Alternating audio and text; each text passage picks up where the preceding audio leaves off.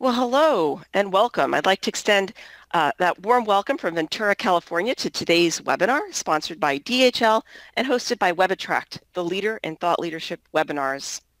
I'm Lori Dearman, Executive Webinar Producer at WebAttract, and in just a moment, I'll be introducing our panel of thought leaders as today's webinar is about hearing from these industry experts as they share insights on how companies can better prepare to meet the complex demands of digitalized consumers and be better positioned to take competitive advantage. You'll also have uh, at the end an opportunity to have your questions answered uh, during our Ask the Experts panel session with both of our panelists today. I'd also like to extend a warm welcome to those of you who joined our first digitalization webinar last month called Smart Warehouse Practical Guide for Digital Advantage, where we talked about the emerging warehouse technologies that are set to change supply chain logistics as we know it. Now, for those of you who weren't able to join that webinar, I'd like to just give you a quick bit of context. The impact of digitalization on supply chain operations is anticipated to be nothing short of transformative. As Lisa Harrington, one of the expert speakers from that March webinar pointed out, the traditional view of warehousing and logistics as the boring behind-the-scenes mechanics of moving product A to B is set to change with a high-tech makeover. And we're starting to see a new smarter era of warehousing. And this is really due to two things, a revolution in the nature of fulfillment and distribution, as well as a technology tidal wave associated with digitalization. And in fact, the expert consensus is that we're literally at the cusp of a fourth industrial revolution that's commonly referred to as Industry 4.0. Fueled by digital technologies enabling standardization and improved analytics capabilities, warehousing operations will emerge as one of the most crucial battlegrounds for the long-term sustainable success of businesses across all sectors as Industry 4.0 becomes our new normal. Both today's webinar and the March webinar were conceived as a means of highlighting the results of DHL Supply Chain's late 2017 research into digital digitalization and the various evolving supply chain pressures such as higher costs, increasing service requirements, and heightened customer expectations, which we'll hear about today, that make the necessity for change so urgent. We provided an overview of the findings in March, so we won't go very deeply into that right now, but on a high level, it's worth noting that 82% of the 335 cross-sector supply chain professionals that were surveyed from around the world indicated that supply chain digitalization is already having a moderate to high impact on their business today. And precisely this question leads us to our first poll question for today. And we're interested in, in asking a very similar question to all of you. Where are you in adopting warehouse technology to support omni-channel fulfillment? So just curious, where are you in this journey? All right. Well, I, for one, find it quite interesting to see that uh, today's results very closely matches up with the results from the DHL study, and and that's looks like 39% of you, where it was uh, just about 31% of that study, were at that um, developing one or more initiatives mark. So uh, good percentage of our audience already into this uh, this journey. Um, looks like followed by uh, about 19% not yet pursuing, 19% early proof of concept, 16% somewhat advanced, and uh, I guess 6% they're already in that advanced category. But uh, rest assured, um, our speakers today have many interesting things to share, and I think that there will be something of interest uh, for everybody, regardless of what stage you are in this journey. And at this moment, take the opportunity to introduce our first speaker, Micah Schnell, uh, who joined Google in 2003 and works as an industry leader together with her team of industry managers with a variety of German and international retailers. The special focus of her team lies on the targeted consultation around Google's marketing solutions and on the acceleration of digital transformation in all areas of retail. For this, Micah Schnell can also leverage her experience in sales management, the management of international change processes, and the market launch of new products and services. Prior to Google, Micah was responsible for event marketing, PR, and sponsorship consulting at various agencies. At this point, I will turn the mic over to you, Micah. Thank you very much for your kind introduction, Laurie. And thanks also to the DHL team for inviting me to uh, speak to you today at this webinar. So a very warm welcome to this webinar also from my side. And today my goal is to share some of the latest insights to everyone and with you about the consumers in the age of assistance. So let me share a guess with you. I guess that every one of us has at least one smartphone, probably not even one arm's length away while I am speaking now. So am I correct? It is very hard to believe actually, but the smartphone is just over 10 years old now you can't really overstate the impact mobile has had on all of our lives and of course also on our industry and all of our markets. And this disruption, as I would call it, is by no means over. Mobile is showing no signs of fatigue. However, there's something else going on right now as well. And this is really the beginning of a new and very powerful shift. I want to welcome you. I want to welcome all of you to the age of assistance.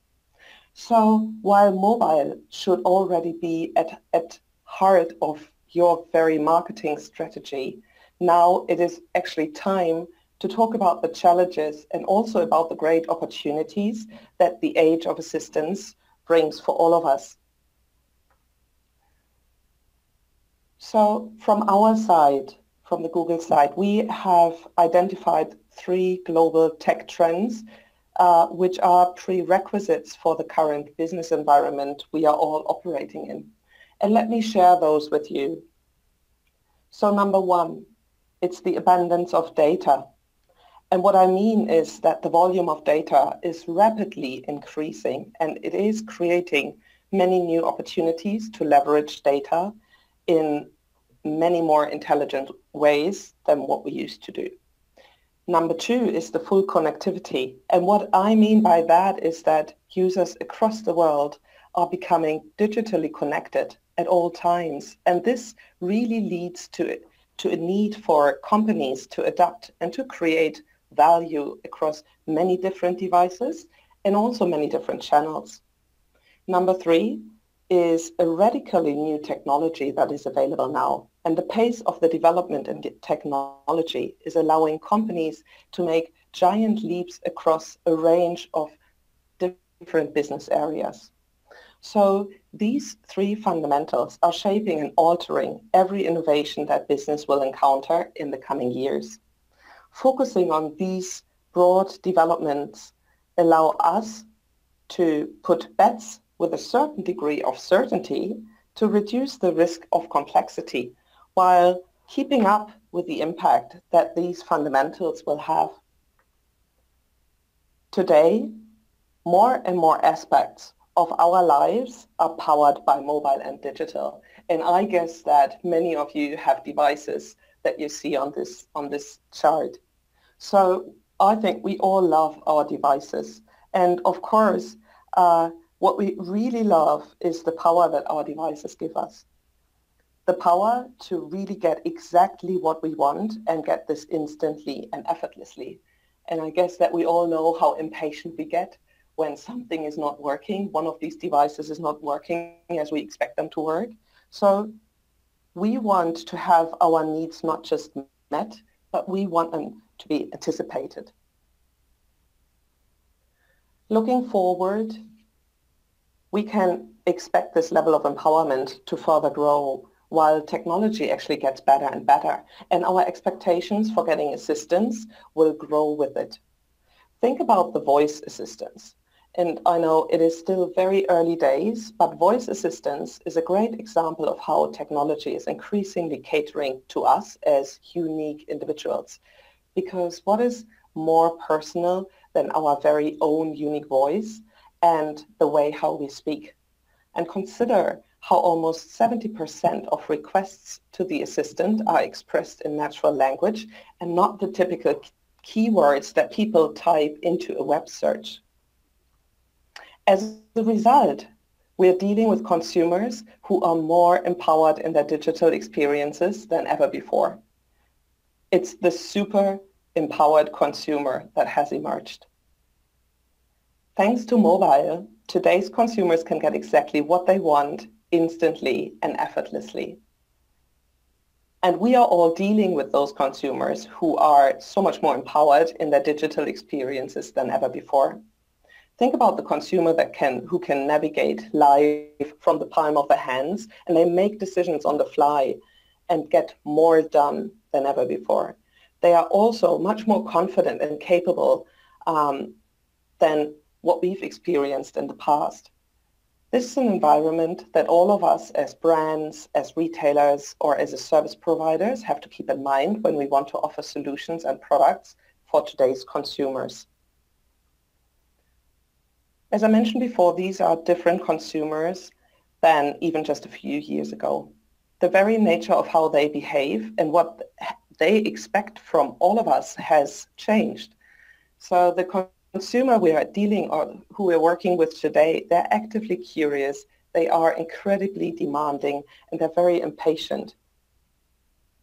Let me start with curiosity. And I want to describe today's consumers now uh, in the following a bit more to you. So let's face it, we, we've all become a bit research obsessed in the past with such easy access to information. We can know everything and we want to know everything. And even if we look at ourselves, every decision that we make can be a very informed decision and we want to get that information beforehand.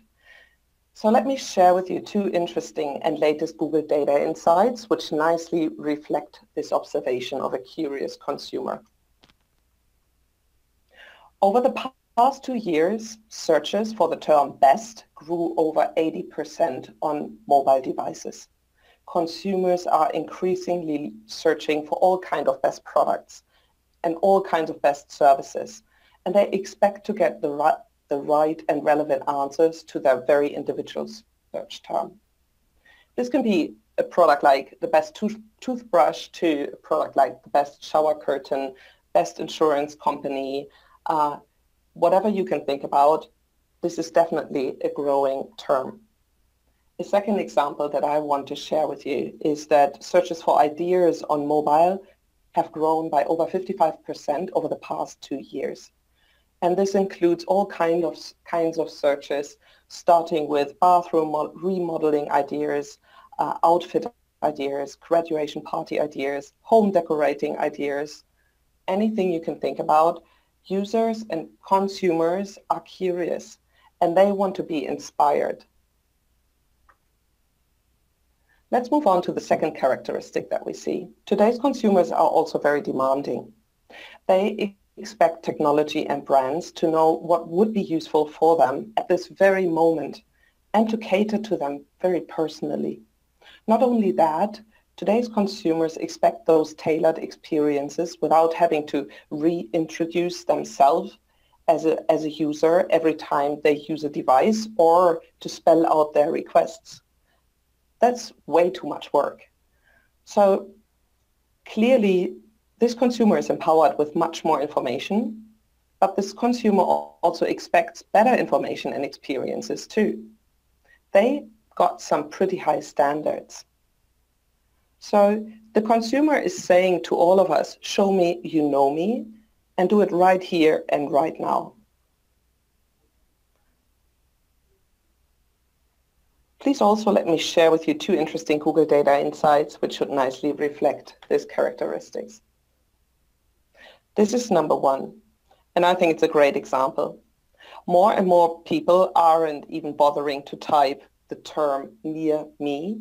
Uh, into their phone when they do a local search. Starting in early 2017, search volume for local searches without near me have outgrown uh, comparable searches that included near me. So when I'm, as a consumer, type Italian food or Thai food, you should just know whether I am at the shopping mall looking for a restaurant there or I am at home expecting a delivery. I shouldn't have to specify what I need and where I am right now. I actually expect my mobile phone should have this information right there. A second example that uh, nicely reflects my observation is this one. Searches uh, for what's the weather today are up 160% since 2015. So I, as a consumer, should not bother to type in my current location right now when using my mobile phone for this kind of research. Again, I expect my device to exactly know where I am. I do not need to reintroduce myself. And let's look at the impatient characteristics as well. Yes, today's consumers are willing to invest their time researching little things like you know toothbrushes umbrellas shower curtains all these kind of things. But in each moment when they are ready to find out about something to do something and to buy something they want to act now and they want to get it now as well. So the experience better be fast and it better be frictionless especially on mobile. The modern consumer is more impatient and they have a right now mindset. They act with immediacy and expect to get things done immediately. That means information, and that is something that is at the heart of Google, obviously. But this also means products and services as well. Let me share two more data points with you, which should nicely reflect this observation. So the search interest for OpenNow has more than tripled since 2015, and this is a very significant increase in search volume. The second example I want to share with you is that mobile searches related to same-day shipping are emerging and have grown by 120% since 2015. So when the, the modern consumer shows those three characteristics, they have a high level of curiosity, they're very demanding, and they are actually impatient. And we, we can hopefully, uh, we, we can hopefully share that, those kinds of characteristics with some of the data sets that I've, that I've shared with you. So I say that the assistance and the ability to offering assistive solutions and services is really the new better, better ground for growth. I think it really offers nice opportunities for all of us to grow businesses. So what can you do as a retailer or as a brand or as a service provider? Here's our perspective, here's my perspective, how to take advantage of those great opportunities. Put the user first is number one. Number two is be assistive be smart and be fast. And number three is make best usage of your omni-channel assets and provide an integrated service. Be truly omni-channel. How, can, how to do that? That's another question. And here are just a couple of tips that we want to share. So in order to put the user first, this can be done by making really best usage of the data that you have and that you collect. Understanding your users by working with the data that you have should enable you, should allow you to put users' interest first. Number two, leverage technology to become assistive, to become smart and to be fast. There are many opportunities and um, I think it's a great opportunity to make best usage of that and to test and to experiment around with it and to learn while it's still very new. Number three, it's about the integrated services that you might be able to offer because you might have different assets like online and offline services that you can combine nicely to really win the impatient consumer for your products and for your offers. And with that, I say thank you all and back over to you, Laurie. Thank you so much, uh, Micah. And don't go too far because, uh, of course, we'll have you back for the, the Q&A session uh, toward the end. Uh, but at this time, I would like to bring on our uh, second speaker, Xavi Esplugas, VP IT Planning and Architecture, DHL Supply Chain. And uh, since joining DHL in 2012, Xavi has served in different roles, driving the standardization and innovation agenda in Europe, such as DHL's vision picking, robotics, and the Internet of Things.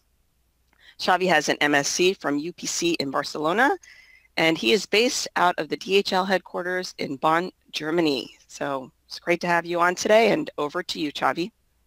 Uh, thank you very much uh, for your for the intro, Laurie. Um, and also, I would like to thank uh, Mike for for explaining the, the, new landscape of e-commerce. What we are seeing is that as the digital technologies are introducing these new capabilities, um, and of course also together some some new limitations, there is an increasing role on this technology as well uh, and this centricity when it comes to the purchasing decisions. Uh, the, the, three points that Mike has identified are, are, fully consistent with, with the findings that DHL supply chain uh, got in this uh, late 2017 digitalization uh, research report, where we see that the big data and the analytics is becoming as one of the technologies which is having the most significant effect in supply chains.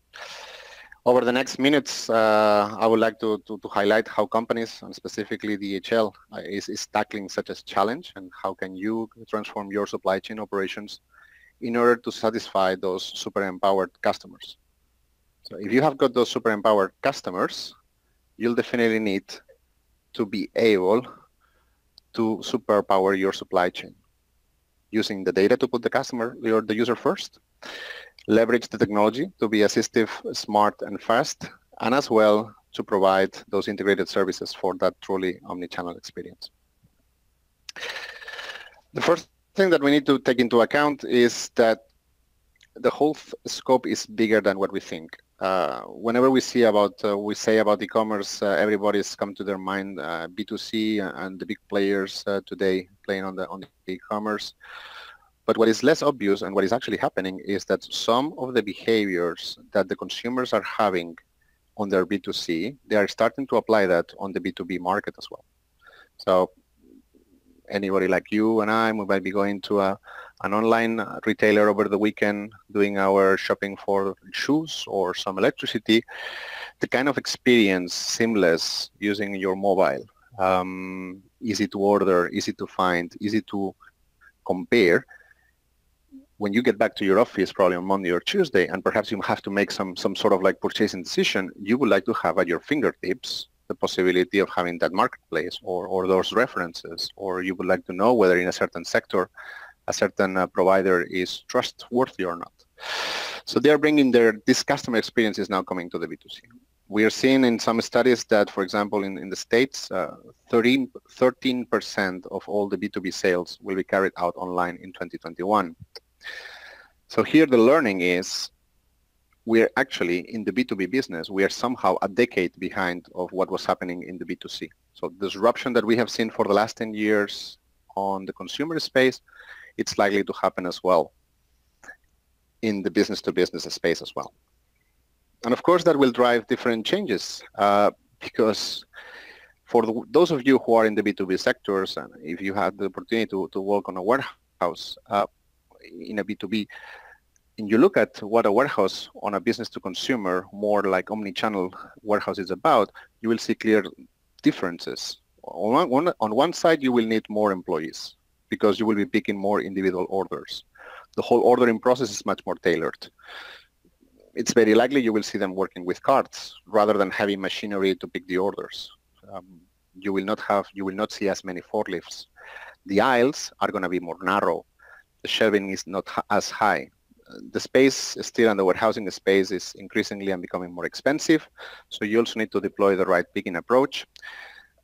having more um, people on the ground with picking more orders, there is of course congestion-related risk to that uh, situation. So you have you will have to continuously optimize uh, your picking strategy. What we are seeing is that of course you need to get assisted by new technologies and of course increasingly some robotic technologies or, or autonomous vehicles they are complementing the work of, of those pickers. They can transport the orders from one part of the warehouse to the other without that manual intervention. And back again to the, to the webinar that was shared in, uh, in March, that was specifically more about the focus that my colleague Adrian was bringing on that smart warehouse of how the true warehouse changes on its, uh, on its approach in order to be able to fulfill the, the needs of, of an e-commerce setup. If we look then at the usage of the data in terms of like how we can apply the big data to know more about the consumer that, that Michael was referring to and, and we are facing every day, there are really things that of course are in your interest and your customers' interest for you to stay in the game. The first one is having better quality of who is buying your products will help you keep your prices down. So you will be able to keep uh, your overhead somehow minimized for the cost savings because you will have better inventory forecasting. You will be able to, to better optimize your staffing levels. And of course, you can improve as well your, your space and, and the equipment. It is also important to be aware that you need to provide that flexibility. The omnichannel capabilities are going to be there, and you will see that there are certain patterns and behaviors, namely, for example, people doing online shopping over the weekend will of course drive uh, a very hurry Monday. So there will be a lot of peaks in the Mondays. This consumer, when they get into the office, they're uh, starting a week, they will of course focus on their job and perhaps they will not have time to look and, and do perhaps some personal stuff. So you will also expect that they will not do so much online personal shopping on that Monday. So your picking that happens the day after on, on Tuesday, you know it's going to be reduced. So beyond the seasonality that we used to see weeks to weeks or months to months, the omni-channel fulfillment and the e-commerce fulfillment now is bringing seasonality even within the weekdays. And of course, what is important is to think about that 24-hour availability. That's uh, you need to you are going to have your shop up and running for 24 hours, and of course, you want that uh, your logistics supply chain follows behind on on that setup. And last but not least, all in all, uh, it's uh, summarized as a better experience. So you definitely don't want to have any out of stock or missed uh, availability. You want to fulfill as fast as you can and start thinking about that anticipatory, anticipatory uh, buying recommendations. On that topic, I would like to highlight, for example, one pilot we are doing with a fast-moving consumer goods. Um, they do have their forecast model and in a collaborative co-creation uh, work together with us, we are sharing their forecast models. We also can bring our forecast models. DHL has strong view on, on the e-commerce trend and also the, the global trading. The customer can offer the input data that they have got from the TV ads that they are running. They can look also at the, at the historical volumes. The combination of the different sources of data to create a unique model gives them better forecasting for them which of course is helping us as their logistics provider to deliver the, the results. So now that we have seen how we can apply that somehow big data, I want to bring also here the point about what is the specific knowledge that a third party or the logistics supply chain you can also get in order to know better your customer. The, the 3PLs, we of course will provide you information around the delivery time chosen by your customers, both B2B, B2C, the resource utilization, and the geographical uh, coverage. We are able to combine analytics with also specific knowledge about risks, providing resilience. Uh, DHL in this case, we are pretty much scattered um, all over the globe, so we do have people on the field, uh, and we you can get that local knowledge and contact to understand whether a certain delivery is going to take two days or it's going to take three days, that team specifically in the field will be able to, to feed that information back to you. And last but not least, of course, that network provides a constant flow of goods, demographics. We also see those, those high macro patterns um, changing, and we can feed back back to you. I would like also to refer about one, one figure which was pretty impressive. on that study, which is 73% of those companies, they they really feel that the most significant information technology is uh, that that data is is one of their most important assets for, for them. How you can make that data meaningful? Because one thing is collecting data, and another thing is getting knowledge and getting insights. The very first thing that is important to understand is that you need consistency. You need somehow consistent processes. You need some constant, cons consistent measurements. And that's the best way when you come to an omni-channel because the different channels, what you're just, you have to think about them, that is just your single way to reach out to your customers. Yes, you will reach them in different ways, in a, in a sense of different, um, different paths, but you are treating usually with just one single customer and what you want is just to get your products uh, to them. If somebody is interested into getting a bit of more insight, also another arm of, of DHL, DHL Consulting, they, they develop a, a, strategic framework for omni-channel supply chains. Uh, I'm sure you can also, it's also available for download if you can look for it. Uh, that strategic framework for omni, omni-channel design, it, it's going to give a certain uh, hints, and I would like to cover a couple of topics on the on the next slide about what it really means on designing an omni-channel strategy. The very first question you have to ask is around the product offering by channel. Are you going to have products which are unique to your online ch sales channel? Are you going to be offering exactly the same? Is the target that you want to address from a customer's perspective the same or not? Second, second topic is around inventory management. Are you going to have a segregated inventory, things that are going to only going to serve your orders in the B2C, or are you going to also use that inventory for your B2B business? If you have got your, your product palletized and you take one case out of one pallet, you're just breaking that pallet. As a result of that, the whole does the whole pallet then go and it's only available for B2C or will you be able to recompose? There is not right or wrong answer it it really makes uh, it, you have to understand what is going to be the needs of your customers, of course, the, the inventory levels that you're going to use, and depending on one or the other, you choose one option or the other. It also comes around the delivery options. So how you want your customers to receive those products and what are also the other costs. Uh, the fulfillment and the storage. Mm, where do you intend to store those those products? you can have regional distribution centers, uniques per region. You can have distributed one per country. You can have a full distributed inventory setup where you have got, if you have got shops or you have got um, areas where you can just get these uh, these goods closer to the customer. Understanding that fulfillment is going to become one of the critical part and you want to be as close as possible to your customers, you will also have to define on that strategy around the balancing of that proximity versus the cost. You also have got the final mile delivery. What's going to be the very last, uh, how you're going to offer on, on those channels? Are you going to offer as well this 24-7? Are you going to offer just a reduced uh, time set? The return options? The customer, when it buys something, uh, pretty much uh, executes the, the, the, credit card transaction fee. Um, whenever the customer is returning something, you want uh, probably the as a customer you want to receive that money back uh, as soon as possible. Are you going to trust your 3PL so they do the, the validity check and then yes you confirm back to your customers? Are you going to have those distributed centers when they're going to do the validations? Are you going to ship all of them into one location?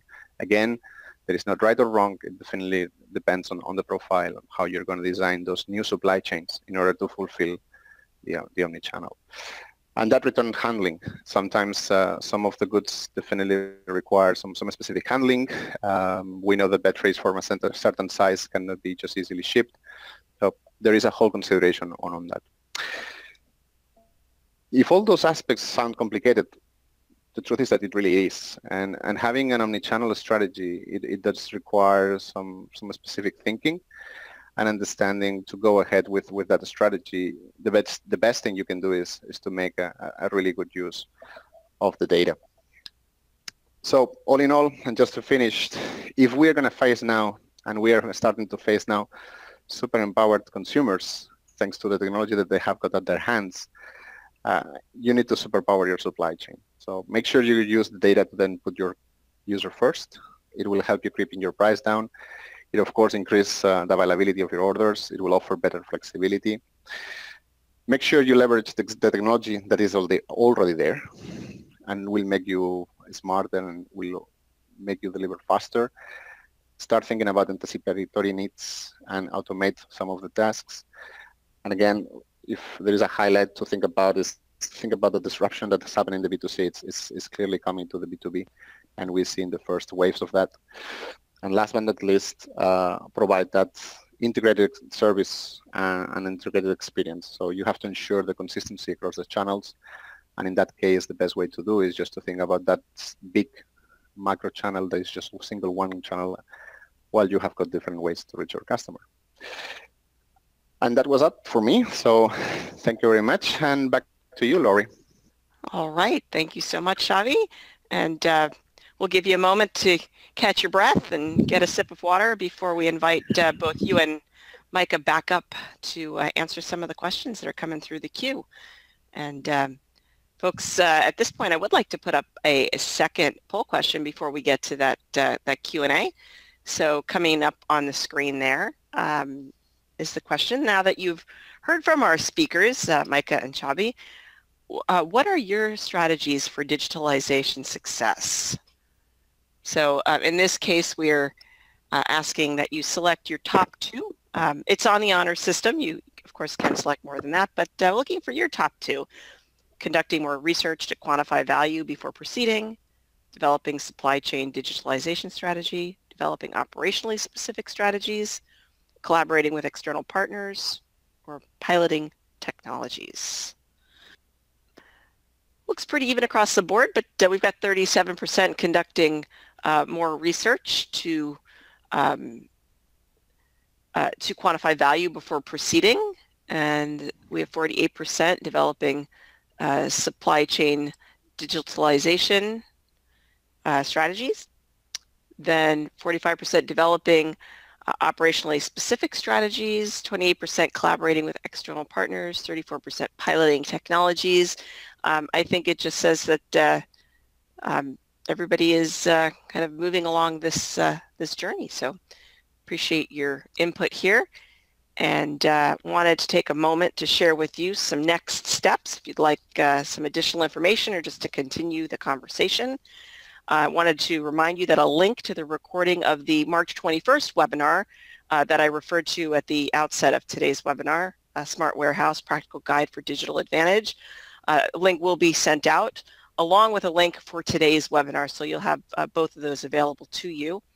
Um, to access additional digitalization resources related to implementing uh, physical warehouse technologies, uh, there will be some links included as well in that follow-up email and uh, information on how to set up a one-on-one discussion with a supply chain digitalization expert. So please keep an eye out for that follow-up email with all of this information, um, likely to come out early uh, next week.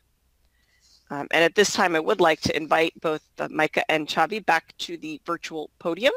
And I'm uh, going to go ahead and start with some of the questions here in the queue. Um, some of these questions came in uh, pre-webinar and some uh, during the, the event right now. So go ahead and start with uh, you, Xavi. Uh, with limited budget, where do you see potential for the biggest ROI for digital supply chain technologies? You said limited budget, right? Not unlimited. That's correct. Yeah. Okay, so with, with, with limited budget, I think you have perhaps to, to split uh, your digitalization strategy into. One is, uh, of course, should be addressing the short gains, uh, which might be around um, small efficiencies that you can run in your warehouse. And you referred again about that, that smart warehouse. So perhaps bring in the combination of perhaps some, some certain robotics or, or new technology there are things which are pretty much plug and play. You can you can get those those digitalization top, um, assets um, right to your warehouse almost uh, immediately. But this is not where the big wins are. The big wins are coming on a, on a more of a strategy on the long term, which I guess, um, or at least was addressing the, the, the previous slides, where thinking about an omnichannel strategy and getting it right will of course that you potentially have to change some of some of your processes, but uh, but clearly if the processes allow you to gather better insights of what the customers want, that will help you targeting significantly better your, your customers. All right, thank you. Uh, moving over to you, Micah. Are there lessons that businesses can adopt from Google to better anticipate changes in buying behavior? And I like that question, Laurie. It's um, so it is it is a very it is a very broad question, and so so my reply to that is that every business is very different, and probably also operating in a very different environment than the environment that we are operating in. But um, here are a few points that I usually bring up when talking to our clients directly, which are retailers. So I think, and that's also something that, that Google does, is um, I think that point number one is always to be aware about opportunities and be aware about changes going on. And I think that things like this webinar, you know, such events are very, very important because um, people get into conversations with each other. Um, number two is then really be very open for new changes and stay curious. So um, I, I, actually like the answer that was just given that uh, quite a few of uh, the people listening to this webinar said, I, I need to invest more into pilots. Um, I think this is a very good way because um, we're still at the very beginning of the age of assistance, very early days right now. And I think experiments are extremely important and testing new things. And don't expect to launch something that is super perfect because this will not happen. So launching, testing, and then adjusting and launching again, iterating. I think this is this is the right way to do it. Um, and this is definitely also a way that how, how Google brings new products into the market. We're doing a lot of testing. You know, we're doing, we're applying a lot of changes usually um, before a product actually gets, goes live and is fully launched across all the markets. Yeah. Okay, thank you. Um, this one for you, Xavi, and uh, I'm interested in the answer as well. Uh, how long until AI is applied to supply chains to reduce delivery lead times to customers? Thanks, Laurie, for the question. Um, actually, the it is quite a relevant question, and uh, DHL precisely this week has has released a trend research report on the use of AI in applied in logistics. And uh, the trend report uh, shares about uh, include about a few examples that that trend that trend research report has been done in collaboration with with IBM, where we have collaborated into even the creation of of one uh, proof of concept. In a shorter scale, I'll see this happening pretty much starting half of this year, beginning of next year. So I think that the, the, the, proof of concept and some of the some of the AI models are are now ready to be starting playing with them. On a massive scale, probably 2019, 2020 timeframe, it's it's for sure. And I'm truly believer that if I look in a in a long, long time frame, probably in 2025, uh, there will be no manual scheduling of, of, of such such a work in terms of like from from the supply chain because the the computer with their power would have outgrown uh, the human capacity to produce those models. We we have seen um, computers actually Google's uh, DeepMind winning. Uh, they started winning uh, games like chess. Now they are winning games like Go, which are significantly more complex. This, this is, there is definitely it's a really, really, really focused technology that is going to ch significantly change for good supply chains. Okay. And on that one, yeah, I would like even to, to invite uh, to Micah. I mean, if you want to add something on that topic. I think it, it I think there are a lot of opportunities, especially when we're talking about um, the topic omnichannel, right? I think um, that the Age of Assistance offers everyone uh, new opportunities to test out ways how to bring existing assets with new assets together. And uh, I just I just really think that using data in a smart way and fully understand of what do we have already and what can we put together and where can we uh, use synergies that we already have as a company internally um, between different departments, between different uh, business areas and bring that together. I think this really brings a lot of opportunities for uh, all the companies who are ready to take on new opportunities. I think uh, there needs to be a certain mindset for that within the company to actually, you know, go in, be curious, test it, and see how it goes. Hmm. Okay, Mike, I've got a, a, question here for you uh, yeah. Alejandro. From Alejandro. Um, what are the differences between uh, different geographies, Asia, Europe, Africa, Latin America, etc., regarding consumer trends mentioned in uh, Google intervention? Mm-hmm. So if I understand this question correctly, um, this is about what are the differences between those geographies? Or do we see differences between those geographies, correct?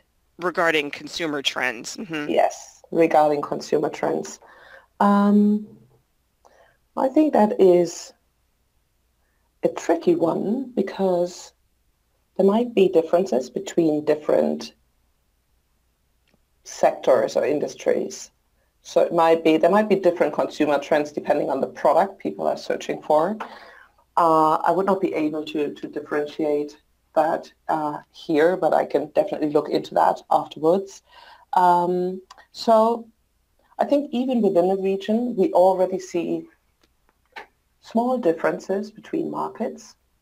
For example, the Scandinavian markets, they are already for many years. They have been heavy mobile users, mobile device users, already also using it heavily for e-commerce, but other markets might be slightly slower. And there have been many studies going on in, in the markets um, by many different research institutes. Um, however, I think the trends between the different geographies are actually not that different when we look at the consumers. There might be a time delay, and that's my opinion to that. So some markets might be a bit further ahead of other markets. Um, but this also offers great opportunities for companies. For example, the Asian markets are markets where consumers um, have a very high uh, adoption rate already of mobile devices. And they're using it in very different ways than in other regions. And also businesses are using mobile devices and mobile services in a often in a different way than in other markets. So I think this offers great opportunities for uh, a company who's operating globally to take learnings from one region and try it out in other regions and see how it goes. But uh, I wouldn't say that from my perspective, uh, there are massive differences. There might be a time delay in adoption. Mm. Okay. Um, over to you, Xavi. Uh, question mm-hmm. here from uh, Joachim. Not sure if I've got that pronunciation uh, down, but uh, the question, is it only speed deliveries that has increased, not the flexibility of delivering, for example, home, work, or service points? That's actually a, a, very good question. As as you develop your omni-channel strategy, makes uh, and perhaps what you're doing is moving from one cutoff time that you used to have every order before uh, entering the system before six would be then delivered the day, the day after. Now you go perhaps to a, a constant model where you have got four or five different cutoff times. There is no point on then rushing parcels out in the last mile and then the delivery man rings at the door and nobody's at home.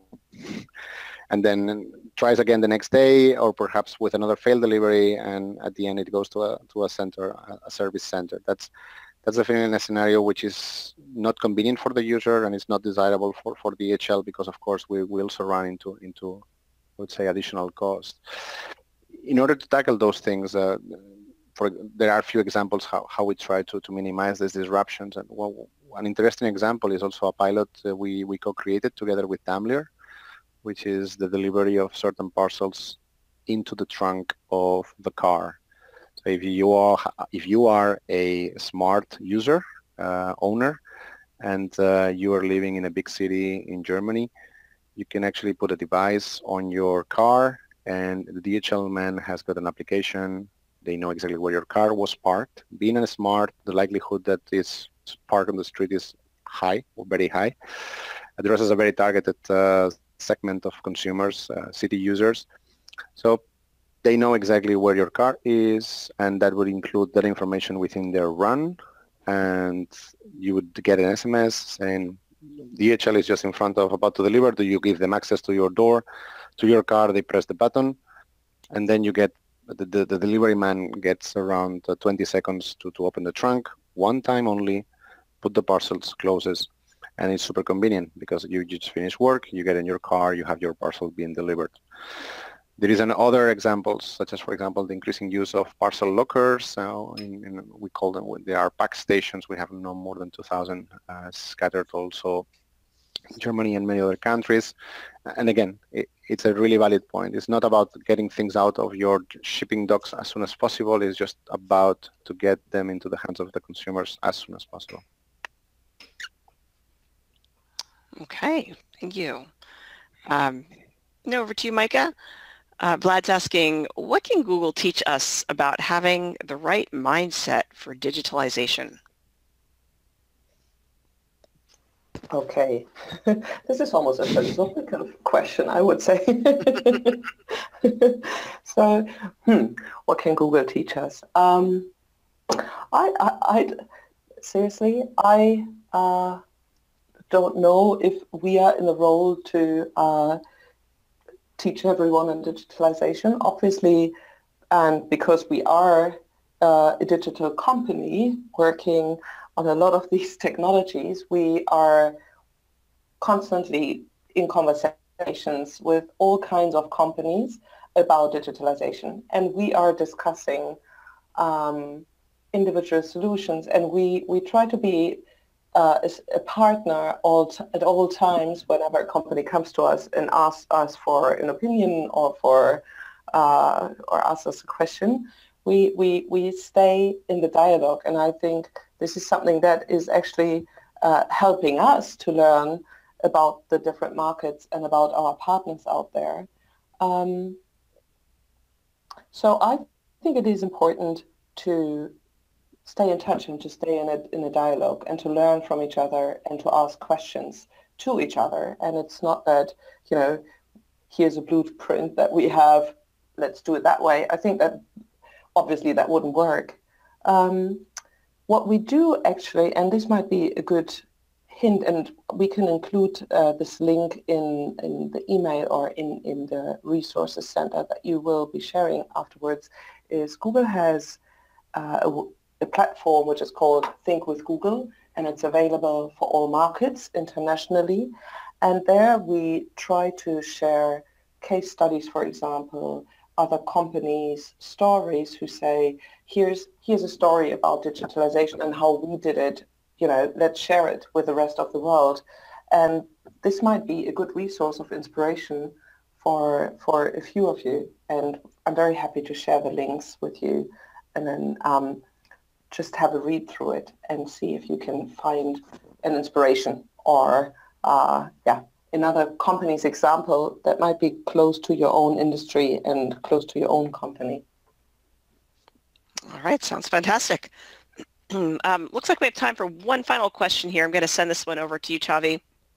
Mm-hmm. Um, how are how are platforms evolving to accommodate the volume of data that will be exchanged between companies, customers, and suppliers? Oof, okay. Uh, well, I think honestly that um, the cloud has changed the game uh, quite significantly. In the past, uh, storing data was super expensive, but today we have got plenty of providers which are which are providing uh, cloud services. Google, Google itself, and uh, and that offers you an unprecedented scalability and, and exchange data. Moving it, of course, to next steps there will be ideas around uh, cross-sharing uh, together with privacy and so on, and things like blockchain comes into play. Uh, again, we we delivered recently a, a study on blockchain and logistics uh, published together with Accenture. So I think the the platforms are no longer an excuse. If you want to deliver and you want to create something, uh, they are up ready. You can have you can find them and you can have them at hand. All right. Well, thank you so much. And uh, it looks like we are uh, just hitting the top of the hour here. So um, before we sign off, would certainly like to thank each of you for joining us and trust that you found today to be of value. Special thanks for our presenters today, uh, Micah Schnell and Xavi Esplugas. Of course, uh, thanks to our sponsor, DHL. Most importantly, again, thanks for joining. And this is Lori Dearman saying, hope we see you on the next one and have a great rest of your week. Bye for now.